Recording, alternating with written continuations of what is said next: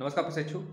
देखिए, आपके C TET के एग्ज़ाम होने के बाद आपको सिर्फ़ और सिर्फ़ फोकस करके रखने हैं। जैसे जिन प्रशिक्षकों का यूपी टेट का एग्ज़ाम हो चुका है तो ठीक है, जो दे लिए हैं, अच्छी बात है। और जिन्होंने नहीं दिया है, वह यूपी टेट पर पूरा फोकस कर देंगे अपना अच्छे तरीके से। और उसके बाद वह सीधा सुपर टेटर यानी कि जब आप यूपी टेट की तैयारी कर रहे होंगे उस समय उस समय आपके अधिकतम प्रयास यही रहने चाहिए कि मैं किसी भी चीज़ को पढ़ूँ तो गहनता से पढ़ूँ, यानी कि मेरा यूपी टेट के साथ साथ सुपर टेट की भी तैयारी हो जाए। जैसा कि मैंने हर बार बोला है, जब भी यूपी टेट के आप क्लास जब हम स्टार्ट करते हैं, हर बार, इस समय तो सुपर टेट के भी मैक्सिमम क्लासेस मतलब कि मैक्सिमम सब्जेक्ट क्लासेस जैसे कि आपके इन्वायरमेंट हो गए और प्लस जोग्राफी हो गए, इसको मैंने कंप्लीट करा दिया है सुपर टेट तक के लेवल का और अधिक लेवल तक का भी। अगर आप पीसीएस लेवल तक का भी देना चाहते हैं तो उससे पढ़कर आप बहुत गहनता से पढ़, पढ़ाया गया है, उसको पढ़कर आप दे सकते हैं। और मैं बहुत जल्द पॉलिटी की क्लास फिर से लगाने वाला हूँ। हर दिन मतलब रोज़ डेली, बस यह प्रभु से मनाइए। किसी दिन कोई ठोस सबूत अगर नोटिस आ जाती है तो उसको मैं उस समय लगाकर और वीडियो को थोड़ा सा टाल देता हूँ, है ना, डिले कर देता हूँ। तो वह ज़रूरी होता है, पहले नोटिस।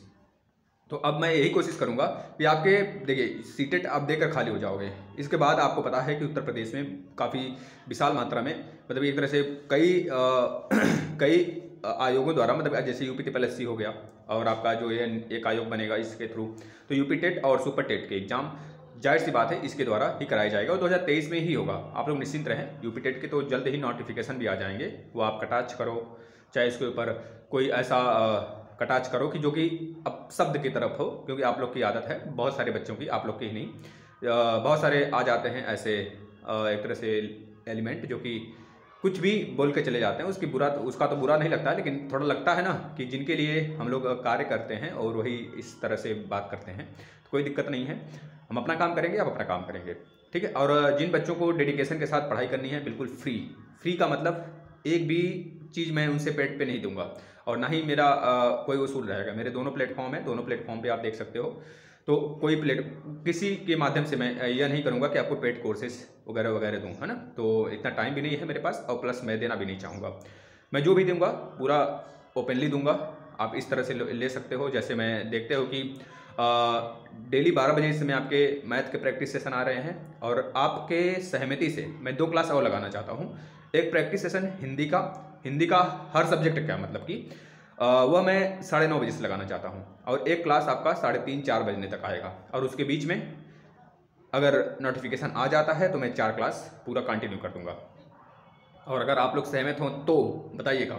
और साढ़े नौ बजे डेली प्रैक्टिस सेशन आया करेगा, जैसे आज साढ़े नौ बजे आपको देखने को मिलेगा हिंदी का पूरा सीरीज़ जितने विलोम शब्द हैं। विलोम शब्द पूरा खत्म करेंगे हम लोग, चाहे आपका कहीं भी, किसी भी जगह पूछा जाए। और रही बात बेसिक क्लासेस मैंने करा दिए हैं। अब इसके ऊपर नहीं जाना कि बेसिक क्लासेस सर कहाँ से मिलेंगे? बेसिक कहाँ से मिलेंगे? तो बेसिक एक ही बार ना होता है भाई। बार बार बेसिक चीज़ें नहीं कराई जा सकती। आप प्रैक्टिस करो ना। बेसिक मैंने करा दिया। आप कहीं भी जड़ता से मैं बोल रहा हूँ। बिल्कुल बिल्कुल भी अपने ऊपर मतलब मुझे यह है फक्र है कि मैंने सारे सब्जेक्ट अकेले ख़त्म किया है। चाहे वह हिंदी का सेशन हो हिंदी का मैंने प्रैक्टिस सेशन भी लिया है, आप प्लेलिस्ट में आकर देख सकते हैं। चाहे वो आपके मैथ का सेशन हो, मैथ का मैं फिर से बेसिक लगाऊँगा, निश्चिंत रहिए, क्योंकि मैथ के भी प्रैक्टिस सेशन चल रहे हैं, एक मैराथन में लेकर आऊँगा, कल, आज जो बारह बजे आ रहा है उसको ज़रूर देखेंगे। और दूसरी तरफ़ मैं बात करूँ आपके हिंदी हिंदी हो गया, और आपका मैथ हो गया, और दूसरा आपका ईवीएस हो गया। ई भी बिल्कुल कंप्लीट किया गया है। अगर पढ़ लोगे एक बार तो शायद ही गुड़ न गाओ, है ना, गुड़गान करोगे। मेरे लाल एक बार पढ़ लेना। और दूसरी तरफ़ मैं बात कर लूँ सी जो कि एक अब थोड़े से हो सकता है कि सिलेबस चेंज हो तो उसमें सीडीपी की मात्रा बढ़ जाए। सीडीपी का मतलब सुपर टेट में, सुपर टेट में सीडीपी का पोर्शन बढ़ सकता है, क्योंकि जैसे के में चेंजेज आए, इस तरह इसमें भी चेंजेज आ सकते हैं। तो आप लोग की जब सहमति हो तो बताएँ, मैं तीन क्लास रेगुलर बेसिस पर लेना शुरू कर दूँ। मैथ का चल ही रहा है। एक मैं चार बजे क्लास लगा दिया करूँ।